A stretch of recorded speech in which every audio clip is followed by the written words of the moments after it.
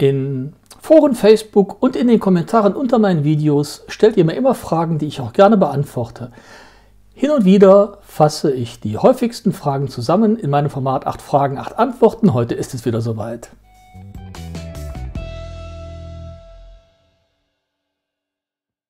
Hallo und willkommen bei Watchmaxes Uhrenvideos. Mein Name ist Axel und ich freue mich, dass du heute reingeklickt hast. Acht Fragen, acht Antworten, darum geht es heute. Ihr möchtet hin und wieder Sachen von mir wissen, die ich auch sehr gerne beantworte. Und in diesem Format stelle ich die Antworten allen zur Verfügung und nicht nur denen, die mich in Foren, bei Facebook oder in einem Kommentar direkt gefragt haben. Die erste Frage heute war, mit welchem Equipment machst du deine Videos? Ja, das ist relativ simpel. Ich nehme mein iPhone 10, hoffentlich ab Mitte des Jahres ein iPhone 11 ich habe ein, äh, aktuell ein SmartLav Plus Mikrofon angesteckt. Ich habe auch ein Rode Tischmikrofon. Das ähm, entscheide ich je nach Situation und was ich aufnehmen möchte. Für die Uhren habe ich ein Lichtzelt und eine Lederunterlage, damit das ähm, auch alles gleich und einheitlich aussieht. Ich habe links und rechts zwei Videoleuchten, die bei der Frontalaufnahme wie jetzt mich indirekt beleuchten und wenn ich die Uhren aufnehme, über das Lichtzelt ein diffuses Licht auf die Uhr werfen. Das war es im Großen und Ganzen schon. Dann kommen noch so Spielereien dazu wie Powerpacks für die Leuchten, dann kommen noch Kabel, Adapter, ein Drehteller, ein Uhrenständer und eine ganze Menge anderer Schnickschnack dazu.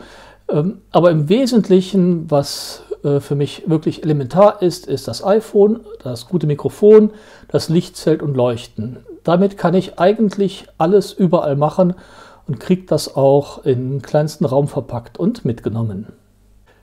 Die zweite Frage, die ich bekommen habe, war, warum beschränkst du dich in der Hauptsache auf Sinn?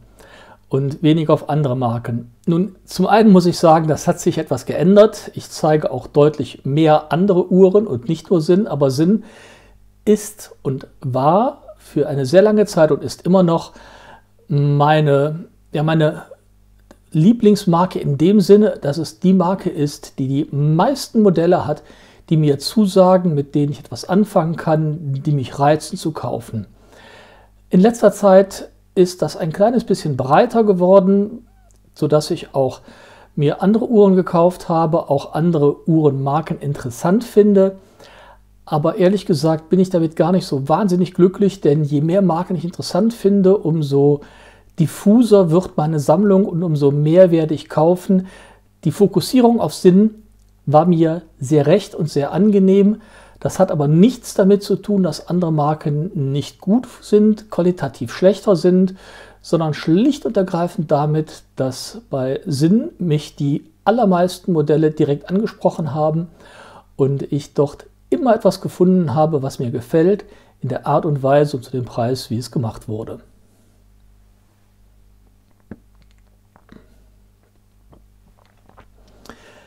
Die nächste Frage geht in eine ähnliche Richtung. Ich bin gefragt worden, du hast doch schon viele Uhren gehabt und viele verschiedene Uhrenmarken. Was ist denn meiner Meinung nach die beste Uhrenmarke? Und da muss ich ganz ehrlich sagen, es gibt nach meiner Meinung nicht die beste Uhrenmarke. Es gibt sehr gute Uhrenmarken, die bestimmte Ansprüche besser als andere abdecken. Nehmen wir mal als Beispiel, ich möchte eine Uhr haben, die extrem robust ist, nicht teuer und unauffällig. Jetzt muss ich kurz mal rübergreifen hier. Diesen Anspruch erfolgt, äh, erfüllt meiner Meinung nach die G-Shock 5610 am besten. Ja, die Uhr geht nicht kaputt, damit kann man alles machen. Sie ist unauffällig, weckt keine Begehrlichkeiten, macht alles mit. Insofern ist das die beste Uhr für einen bestimmten Anspruch. Ähnliches lässt sich mit Sicherheit für Taucheruhren finden, für Uhren zum Anzug, für Uhren, die ein bestimmtes ähm, Klischee vermitteln sollen, die ein bestimmtes Image transportieren sollen. Insofern, ähm, es gibt in meinen Augen nicht die beste Uhrenmarke. Jede Marke hat bestimmte Stärken und bestimmte Schwächen. Und in Abhängigkeit davon, wo der persönliche Fokus und der persönliche Schwerpunkt liegt, ist dann halt eine Marke besser geeignet als die andere. Natürlich gibt es Marken, die grundsätzlich gut sind. Das heißt aber nicht, dass sie besser sind als andere, denn gerade bei hochwertigen Marken findet die Differenzierung in meinen Augen in Details statt und diese Details wird jeder anders gewichten. Ich denke, es lässt sich relativ deutlich sagen, dass eine Rolex ähm, eine bessere Uhr ist als eine Orient als Beispiel. Vorausgesetzt, dass es um Fertigungstechnik, um Werksqualität und solche Sachen geht. Wenn es aber darum geht, dass ich eine Uhr für Gartenarbeit oder für den Segelturn oder etwas anderes haben möchte, ist unter Umständen die Orient besser geeignet, weil ein Verlust zumindest mich weniger schmerzen würde. Insofern finde ich nicht, dass man absolut sagen kann, das oder jenes ist die bessere Uhr. Es gibt nur die bessere Uhr für bestimmte Anlässe und bestimmte Kriterien. Die vierte Frage, die ich bekommen habe, war, zeig uns doch noch mal mehr von deinem ähm, Co-YouTuber, von deinem Co-Präsenter, von deinem Hund. Also, um das zu sagen, mein Hund ist mein größter Fan. Er unterstützt mich bei allem, was ich mache. Ja gut, ähm, solange es Leckerlis gibt und die gibt es hin und wieder. Die Rasse ist ein reinrassiger rumänischer Strakömi, also ein äh, Straßenköter-Mix. Der Hund kommt aus dem Tierheim, aus dem Tierschutz, ist jetzt ähm, vier Jahre bei uns, wird Ende des Jahres fünf und mehr gibt es dazu nicht zu sagen. Wir mögen sie gerne. Äh, der Hund heißt Motte, ist ein Weibchen und ja, das war's. Jetzt habt ihr den Hund gesehen und ich glaube, das Thema ist damit dann auch wirklich abgehakt. Die fünfte Frage war, ähm, da spielen verschiedene Aspekte rein. Ähm, ich habe immer wieder gehört, meine Videos sind zu leise. Ich habe dann in die Analyse-Tools von YouTube geguckt und habe mir verschiedenste Videos angeguckt. Meine Videos sind teilweise ein bis anderthalb Prozentpunkte leiser als die üblichen Videos, also minimal leiser, aber gemessen an den Statistiken von YouTube nicht wirklich leise. Wenn ich sie deutlich lauter mache, komme ich in die Gefahr dass der Ton verzerrt. Insofern ist mir ein etwas leiseres Video lieber als ein Video mit einem schlechten, verzerrten Ton. Wem die Videos zu leise sind, das tut mir furchtbar leid, aber ich möchte die Videos nicht übersteuern und verzerren für Einzelne, die eventuell den Eindruck haben, sie sind zu leise.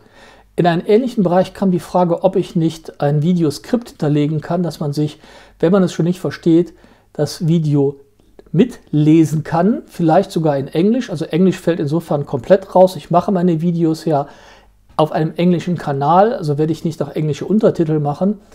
Und das Video als Transkript mit Untertiteln zu unterlegen, ist echt viel Arbeit, die ich mir nicht machen möchte. Es tut mir leid für jeden, der es nicht verstehen kann, aber diese Arbeit geht über das hinaus, was ich bei zehn Videos im Monat schaffen kann. Insofern fällt das leider auch raus. Der sechste Punkt. Ähm, ich spiele hier immer so ein kleines bisschen damit, dass ich gerne 1000 Abos hätte und ähm, ihr mich dabei unterstützen könnt und all diese ganzen Geschichten. Und einer meinte, naja, mach doch eine Verlosung. Und ganz ehrlich, Leute, nein, mache ich nicht. Ich werde keine Verlosung machen. Ich habe auch nicht vor, irgendwelche Gutscheincodes, Rabattcodes für Uhrenmarken unter meinen Videos zu verlinken. Wer das machen möchte, das finde ich klasse. Man kommt günstiger an Uhren. Aber ich möchte niemanden dazu verleiten, eine bestimmte Uhr einer bestimmten Marke zu kaufen, aufgrund meines Videos bzw. aufgrund eines Rabattcodes. Das geht mir zu sehr in die Richtung, eine Marke zu pushen. Ich möchte wirklich immer völlig unabhängig sagen, was ich von einer Marke halte, ob mir eine Uhr gefällt. Und ihr wisst, ich bin da auch sehr subjektiv, sehr emotional. Ich mag vieles an Uhren. Ich sage aber auch, was mir nicht so gut gefällt. Vielleicht weniger euphorisch und ähm, exponiert als das, was mir gefällt. Aber man sich meine Videos genau anguckt, der bekommt schon mit, was mir an einer Uhr nicht so gut gefällt und was mir sehr gut gefällt. und das möchte ich beibehalten, ohne durch einen Rabattcode oder durch eine Verlosung oder durch irgendetwas in dieser Art in eine bestimmte Uhrenrichtung zu drücken. Ich weiß, das macht mir das Leben als YouTuber etwas schwerer, macht meinen Kanal etwas weniger attraktiv, aber an diesem Punkt bin ich stur und werde das auch weiter durchziehen. Ebenso wie ich weiter durchziehen werde, dass meine Videos werbefrei bleiben. Ich werde keine Werbeblöcke vor den Videos schalten. Falls ihr mich unterstützen möchtet, schaut unten in die Videobeschreibung, dort sind Amazon-Links. Wenn ihr einen solchen Link aufruft und auch ein ganz anderes Produkt kauft, bekomme ich einen sehr, sehr kleinen Kickback. Darüber freue ich mich. Im letzten Monat waren es ganze 10,63 Euro für den ganzen Monat. Ihr seht, Reich werde ich damit nicht, aber vielleicht kann ich mir irgendwann mal eine neue Videoleuchte kaufen. Ja, das war also das Thema Verlosung und diese Geschichten. Die siebte Frage, die ich bekommen habe, war, ähm, wenn du dich auf deutsche Uhrenmarken beschränkst, dann bist du doch ganz schnell am Ende. Mach mal was anderes. Geh auch mal in andere Länder und sei ein bisschen internationaler.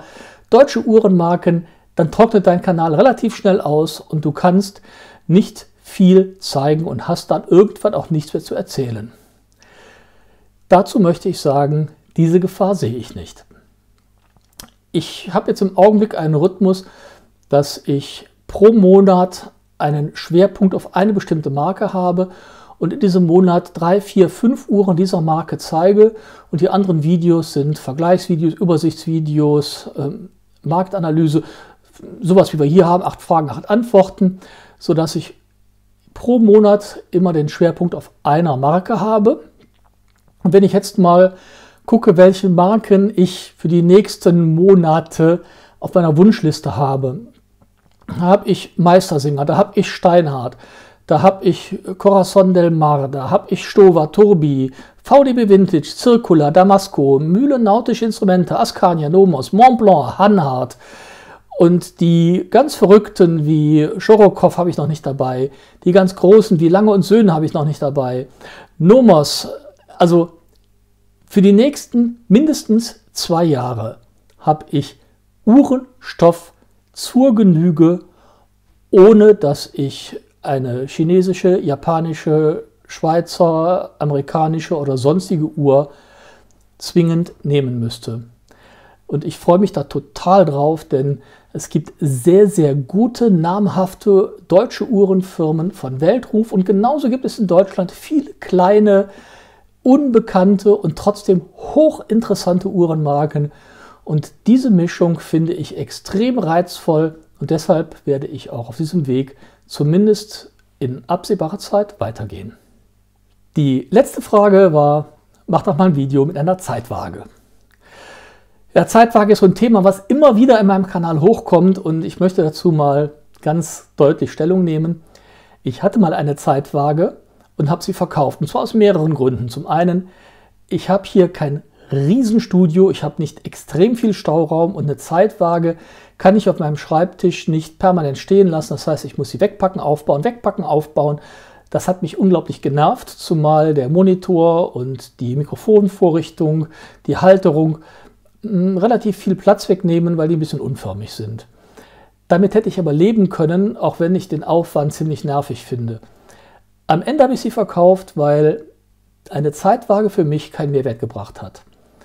Ich habe weder das technische Equipment noch die handwerklichen Fähigkeiten, eine Uhr zu öffnen, zu justieren oder zu regulieren. Das heißt, den Einsatz einer Zeitwaage in diesem Punkt, um die Uhr durch handwerkliche Fähigkeiten und ähm, entsprechenden Einsatz von Werkzeug zu einer besser laufenden Uhr zu machen, das kann ich nicht und das, dafür brauche ich die Zeitwaage dann auch nicht, um das nachmessen zu können.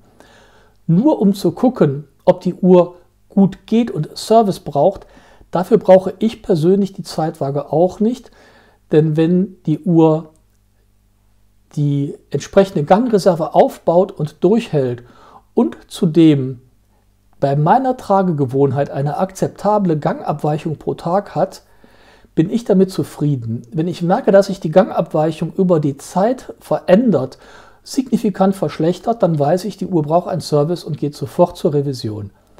Dafür habe ich in den letzten mehreren Jahren keine Zeitwaage gebraucht, habe keine Uhr ruiniert und bin damit sehr, sehr gut gefahren. Ich bin eben kein Handwerker und aus diesem Grunde ist die Zeitwaage für mich ein überflüssiger Luxus in dem Sinne, dass sie einen Funktionsumfang bietet, den ich nicht nutzen kann und auch nicht nutzen werde.